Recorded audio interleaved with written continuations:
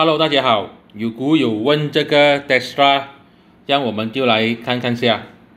它的股呢，跌到差不多整一百块美金，一百零八块，就从底部这边弹上去，这样很多人就会开始问，是不是很便宜了？因为它之前曾经上到差不多的四百块，现在跌到一百块。超过八十八千，是不是可以捞底？这些都是很多人会问的问题。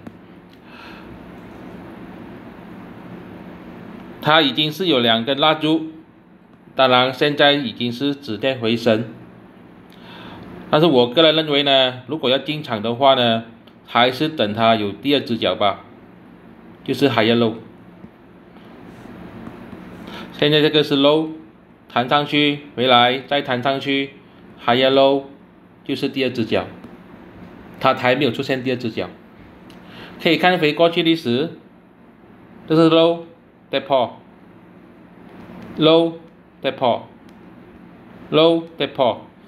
lower low，呀，so 真的是不要呃随便去接刀，等第二只脚的时候再考虑要不要进场。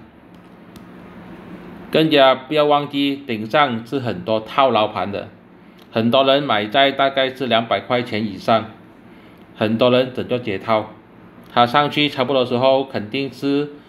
会被打下来，肯定是会有第二只脚的，这是我的个人看法，并没有任何的买卖意见，谢谢大家。